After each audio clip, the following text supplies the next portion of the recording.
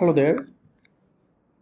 Thank you for watching this and in this video I will cover how to connect your Google Analytics with Fluent Forms and track the event. So in this case uh, you'll find uh, the documentation in here and here you will you need to follow uh, the below steps and the main uh, configuration script is here uh, you need uh, three variables uh, two is required one is optional in here and uh, one trigger and two tags so in this video i will cover the step-by-step -step guide to implementing the GA4 with Fluent Forms.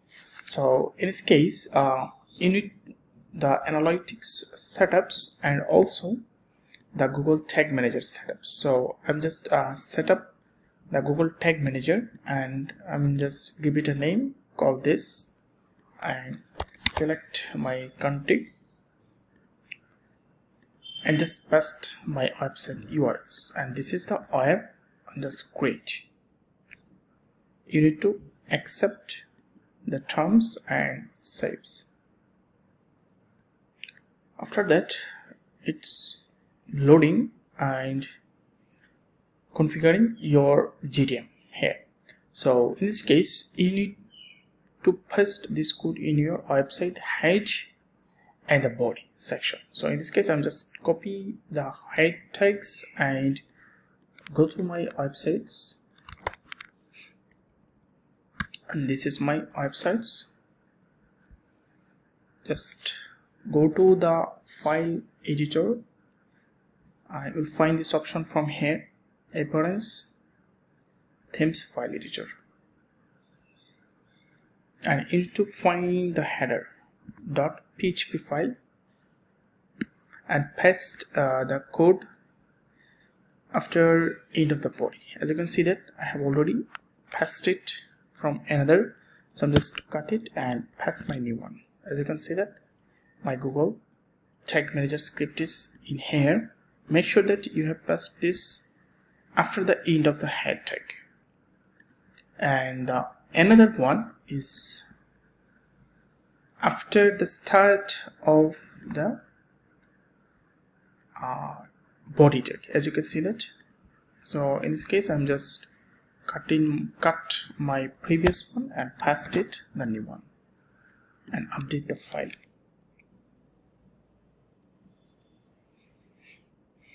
As you can see that uh, the GTM tag in here and here is the same. You need to make sure this. And after that and go to the docs and follow the first steps which is says the creating Fluent Forms variable.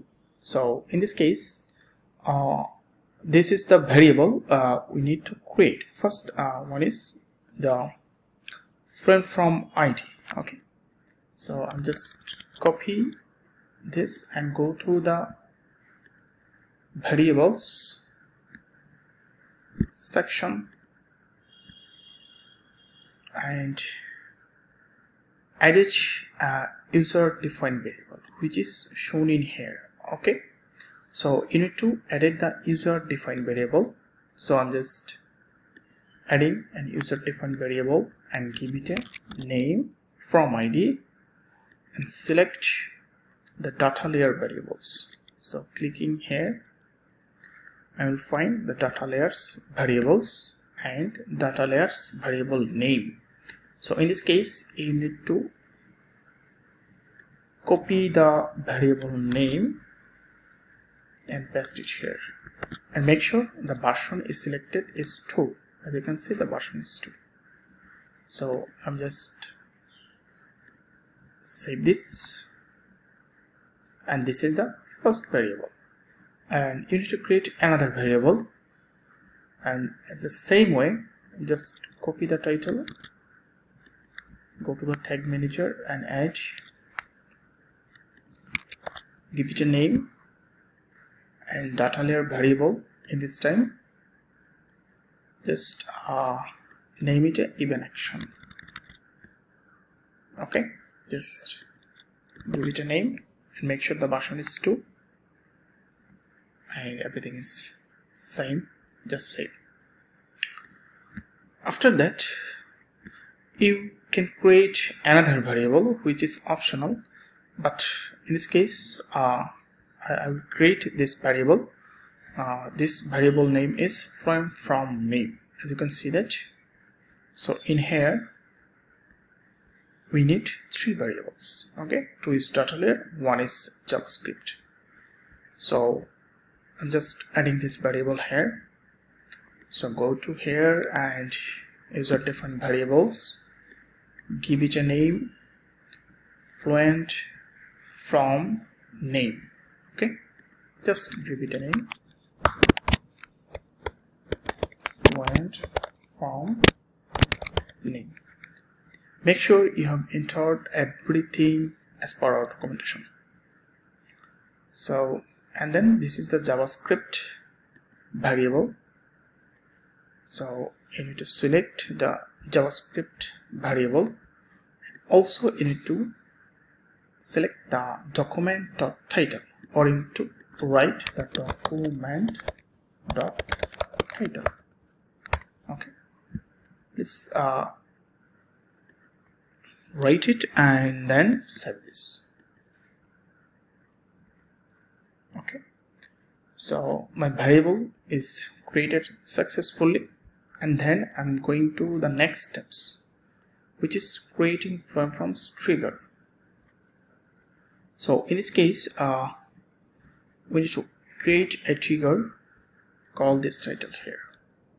So I'm just copying the trigger and just go to the trigger section and add a new trigger give it a name and event types custom event and the event name this. So in this case i'm uh, selecting the event type is custom events and give it a name from activities.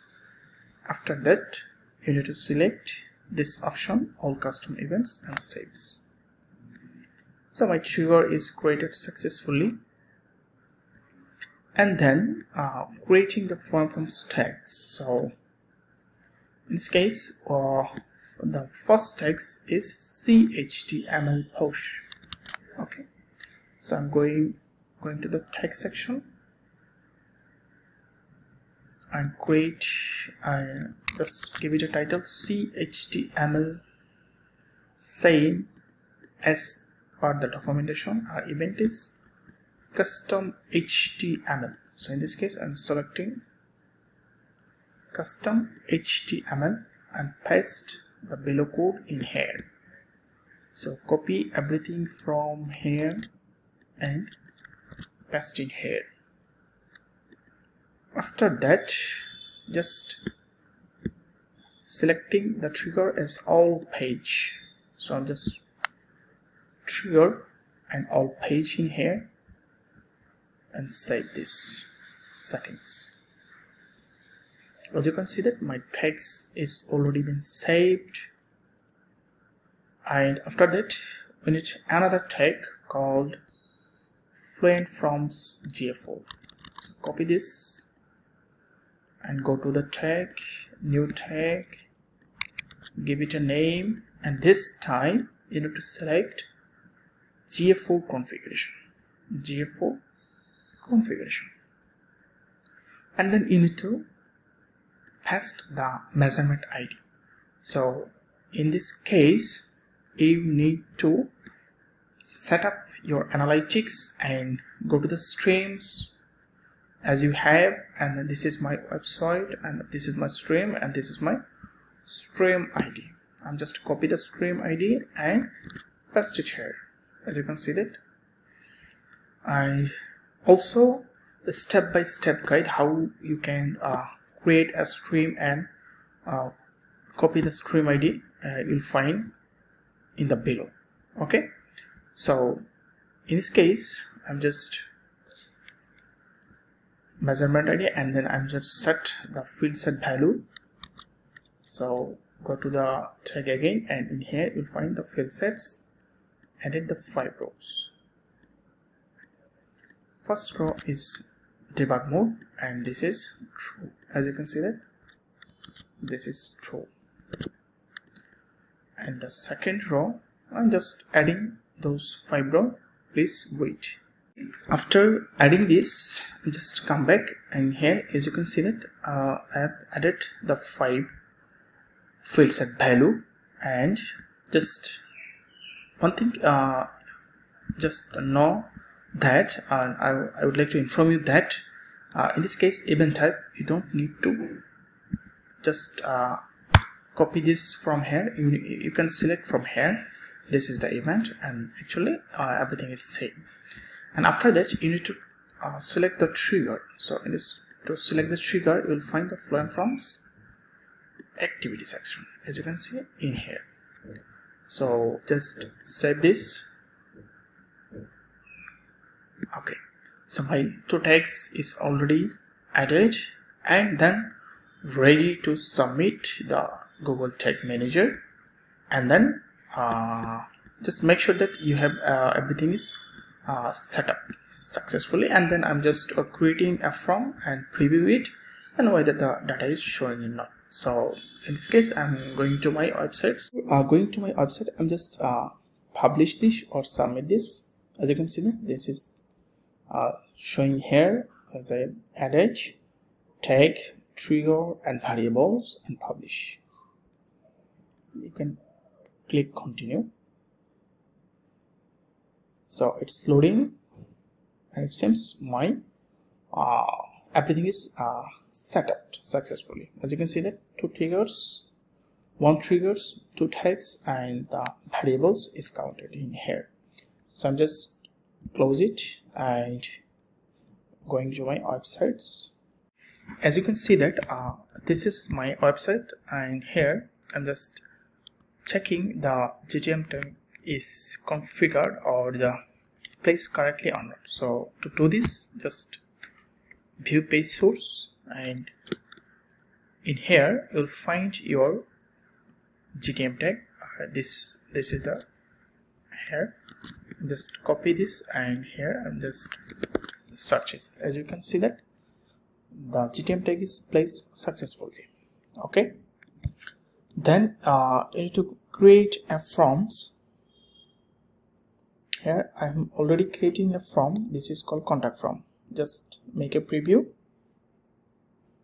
As you can see this form is here. And also I'm just uh, placing it on a page. So I'm going to my page. And just filter it by date. And here this is the page I am creating for this form and I'm just copy this page. As you can see that this analytic is successfully in here. So also I'm just going to my GTM and preview this. And make sure if you have any ad blocker uh, th this might be problem or this might cause uh, in this case I'm just uh, of this for now. And this is the page I have and connect as you can see that uh, the GTM is uh, configured correctly and here and also it's shown in here to connect it okay? So this uh, is load successfully and just um, fill up uh, any details and submit the form. And uh, it's submitted successfully. As you can see that the all events is fired successfully so the CHTML and push are flown from GA4 tag and also the activities in here. So uh, after that uh, I'm going to my analytics dashboard. As you can see that uh, in here uh, the real-time users is showing and also the uh, general forms page title is showing here. And if I just uh, going to the page view as you can see that and it's showing the actual events events type from ID and also the form name and everything is perfectly showing in here. The form ID is 219 okay? So if I just uh, going to this editor page you can see that the form id is 219 okay? So everything is placed successfully for general from